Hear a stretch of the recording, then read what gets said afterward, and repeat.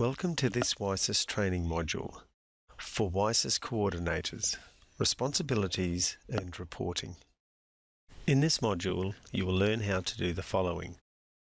You'll manage user access and license allocation, which involves creating and removing user access, unblocking users and resetting passwords. You will also learn how to perform the reporting functions for your service outlet. Managing user access and licenses. All user administration is done on the Admin page Users tab. The list presented shows your current users and when they last logged on. By changing the view selection to non-current users, you can view users who are inactive. Let's go back and view the current users. The first step in setting up a new user is to ensure you have an available license. The information in the text box above the user listing states the number of YSCIS licenses allocated to your service outlet or workgroup by the Youth Support Program team in alignment with your service agreement. When a user is allocated to a workgroup, a license is assigned to that user and the number of spare licenses for that work group is reduced by one. This example shows that we have in youth work group Y 50 named users. This is the number of licenses allocated to that youth work group. Out of that number, we have 20 spare licenses we can use. If you have no spare licenses, the first step is to review the list of current users and see if there's anybody on that list who is unnecessarily allocated to a workgroup. I'll show you later in this training module how to remove the person from the workgroup so you can free up a license. If you require additional licenses, please contact the Youth Support Program team and discuss this requirement. Let's continue. Creating a new user. Click on Add New User. The Add New User form will appear. The username I'm assigning is Albert Einstein. And I'm putting a dot in between the username and the first name and family name as that's recommended.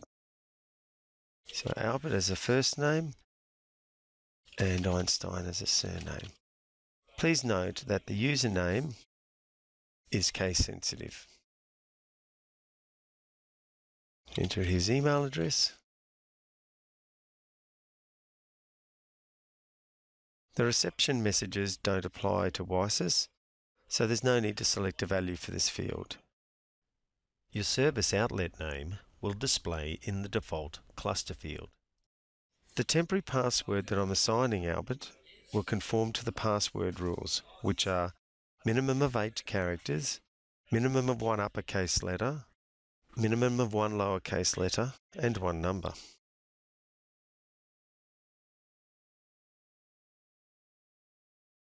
Select the Change Password checkbox.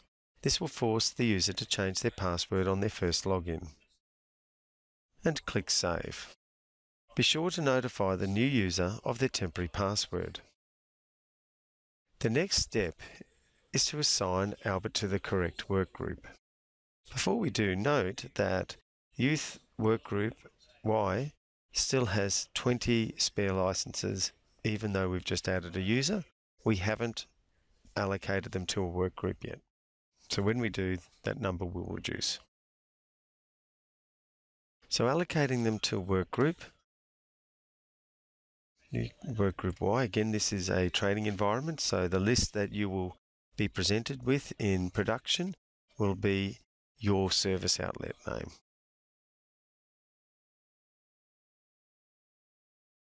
If we did not allocate a user to a work group, that user will not be able to log into YSCIS.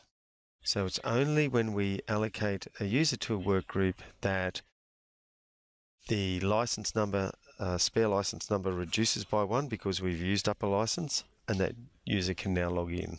So when I press save, We currently have 19 spare licenses now. The next step is to decide what role this user will perform in YSCIS. It defaults to normal user. The two options configured for youth support are normal user and coordinator. The normal user role is for youth workers and case workers. The YSCIS coordinator role is able to perform additional advanced functions such as user administration, reporting, merging duplicate records, etc. As Albert is a youth worker, his profile will be assigned a normal user role. Albert is an operational member of the team, so I'm keeping the operational checkbox ticked. Complete the process by saving. Unblocking users.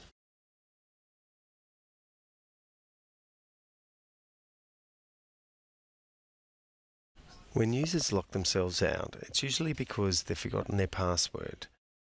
A YSCIS coordinator can unblock them and reset their password. Notice the Forgot Password help link on the login page is another avenue for users if the coordinator's not immediately available. So I'm just making sure we are on the admin page users tab and we need to click on their name from the users list to open the edit user form. And the user today who's locked themselves out is called normal user. So we click on that and then scroll back up to bring up their record. Untick the user blocked checkbox. Now, if the user remembers their password, then we don't need to touch their password and reset it. But chances are they've forgotten their password, otherwise they wouldn't have locked themselves out in the first place. So we're going to issue them a temporary password.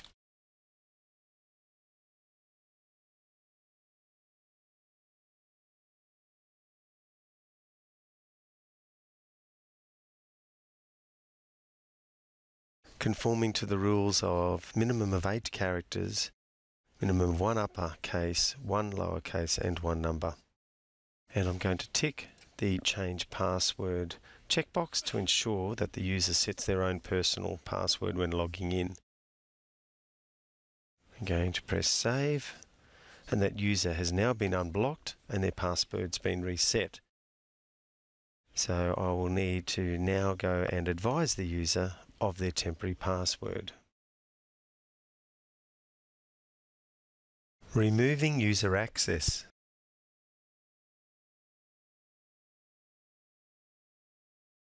An important function of a YSCIS coordinator is to remove users from being able to access YSCIS when they are no longer required or authorized to access it.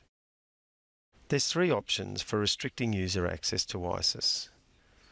Blocking them, removing them from a work group, and removing their user record. Let's have a look at these options. I open the user's record by ensuring we're on the admin page in the users tab and we will find our user. Let's see if test is free. No. We'll bring up training 8 as a training account. You can see this person is in many work groups. Option 1. If you wish to temporarily remove access, tick the user blocked checkbox. They are still allocated a license, but they're unable to log in until you untick that box. So to do that, we just press save and they're now blocked. For option 2, you can remove a user from a work group by clicking the red remove cross. So if I click that, remove them from the work group, we've freed up a license and they're unable to log into that work group. If we remove them from all work groups, the user is unable to log into YSCIS. You would choose this option over the user blocked method when you want to free up a license and allocate it to somebody else. This method keeps the user's details on the current user list. For option 3, if you want to permanently remove their access, you can remove their user record. To do this, ensure the user is not allocated to any workgroups. When they're not, the Remove User button appears at the bottom of the form. Clicking the Remove User button moves the person from the current users to the non-current users list. Even though their user record is deleted, all references to them in the client data is retained. For example, all of their case notes will still contain all references to them. So, just to demonstrate, training 8 is in our current users list. If we click remove user,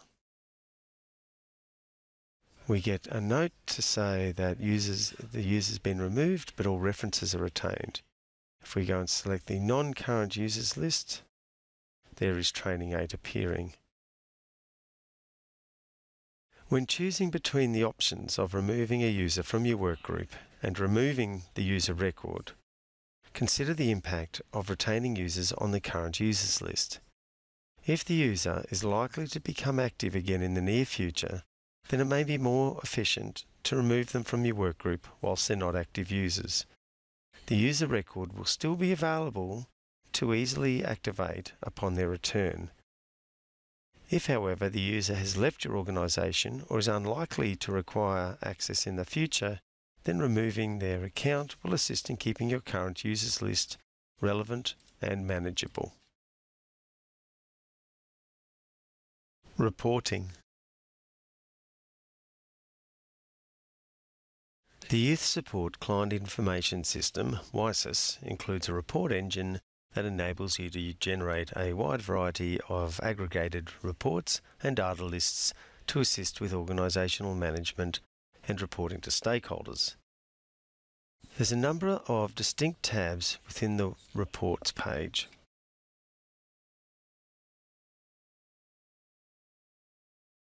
and these identify the different reporting categories. They are reports, lists, financial, referrals, groups, custom and results. The Reports tab is where the majority of reports will be run. We'll come back to this shortly. The List tab allows you to generate the detailed list of records used in the corresponding report. The Financial tab allows you to generate reports based on the information entered into the Payments tab within the Persons page. The Referrals tab allows you to generate reports for, for referrals sent to and received from other services. The Groups tab allows you to generate reports based on the group information entered into the Groups page. The Custom tab provides standard functionality for those wishing to pursue advanced reporting capabilities. The Results tab is where you view reports and lists that you've generated. The Reports tab provides access to standard reports together with a suite of DCC SDS reports. That's in the report type. The DCCSDS reports have been defined to extract de-identified data to support performance reporting requirements. The DCCSDS performance report collates the performance reporting figures to be entered into the Online Acquittal Support Information System, OASIS, by service outlets quarterly. The format, I'll just select it. The format of the performance report is exactly the same as required to be entered into OASIS, thereby streamlining reporting obligations for service providers. An overview of these reports is included in section 20.1.6 of the YSCIS user of the YSCIS user manual for your reference. Let's run a report. We're going to run the DCCSDS performance report. So I have selected that report type for the performance report. For the service outlet, I will select all services and the period of interest is this quarter.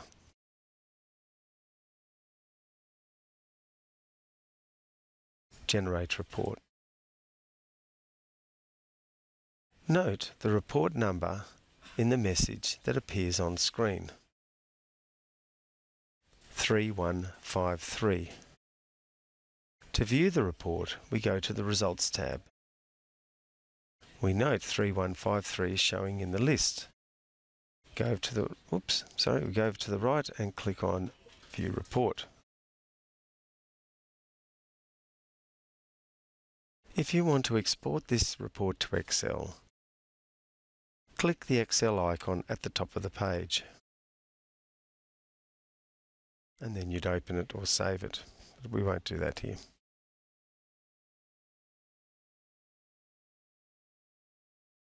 We go back to the results list by clicking results. To keep my list of reports to a manageable level, I'm now going to delete this report. That completes this module. Let's review what we have covered. We have learned the importance of managing our license allocation when considering user access. We have learned how to create and remove users. We've learned how to unblock users and reset their passwords. And finally, we've touched on the key aspects of creating reports for our service outlet. Thank you for watching this YSCIS training module. There are a number of support options available for you. The YSCIS User Manual provides detailed instructions for using YSCIS to support service delivery for youth support services. This is a helpful reference and can be accessed by the link on the login page, taking you to the department's Youth Support web page. Guidance for using features not specifically tailored for YSCIS is available via online help. If you experience any problems with YSCIS, please contact the Infoxchange support team by phone or email using the details on this slide. If you have a practice related query, please contact the Youth Support Program by email at cismailbox at communities.qld.gov.au.